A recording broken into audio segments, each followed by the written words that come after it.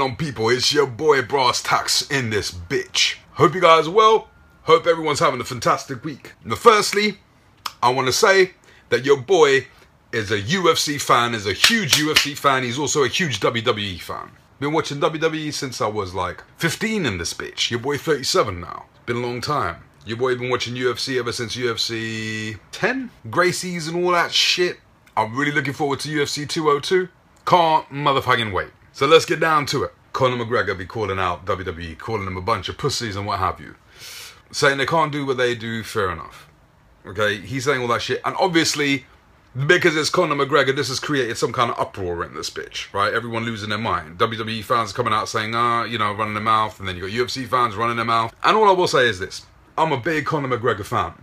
Big Conor McGregor fan. Conor McGregor is the best shit talker there is. A close second is Chael. Well, actually, maybe Chael depending on how you look at it. Chael Sonnen and Conor McGregor on par in this bitch. Yeah? That's a side point.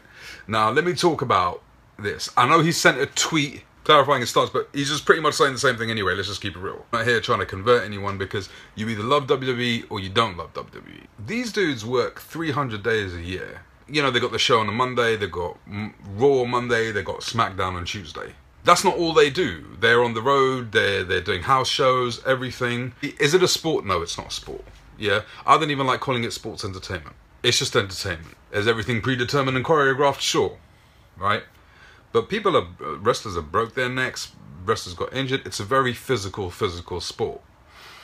I remember back in the day, my my my friend. It was his birthday. He hired out a wrestling ring, a legit wrestling ring, and we were messing about, messing around. Now come on, let's keep it real. Your boy ain't no lightweight. Yeah, your boy, your boy took a a back body drop on that bitch and his whole soul got hurt. That shit, that canvas is nasty. Do you know what I'm saying? That shit hurts like a motherfucker. And these guys are doing it day in and day out. And it takes a tremendous toll on the families.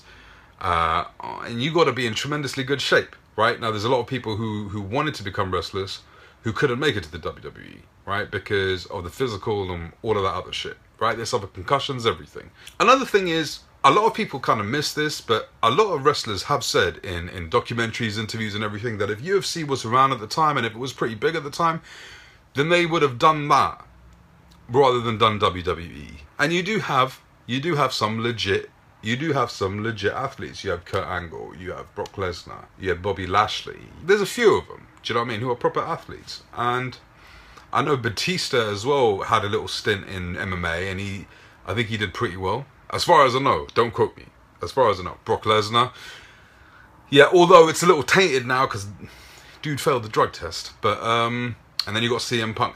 I'm gonna keep it real with you. I I can't see CM Punk doing well in this at all. I would like him to because I think it'd be a, a, a low key W for the WWE. But I, I just can't see him. I can't see it. I can't see any success in this fight. Fighters also, UFC fighters also, you get two to three matches a year, but they're training all the time. It's it's they're two very very different things. But to to call wrestlers pussies and stuff, that shit is fucking hard work. It's really hard work. It's like I I'm pretty sure UFC couldn't do what WWE does, and I'm you know pretty sure WWE can't do what UFC does. But it's just that's a, that's an extremely extremely cold blooded thing to say, but that's Conor McGregor for you, and I found the shit funny. Now you gotta ask yourself, is this part of some bigger thing? You know? Is this a kind of scratch my back, I'll scratch yours between the WWE and the UFC? You know, they gave Brock Lesnar. Was there some kind of agreement that Conor McGregor may show up on a WrestleMania or something? You don't know, right? You don't know.